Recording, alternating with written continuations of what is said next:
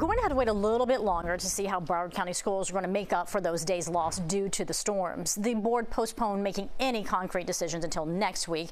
Between Hurricane Milton and Helene, Broward County students, they missed three school days. Now, the state says it does not plan to waive any of those hours.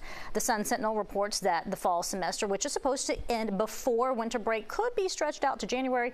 Other options could include shortening the week-long Thanksgiving break.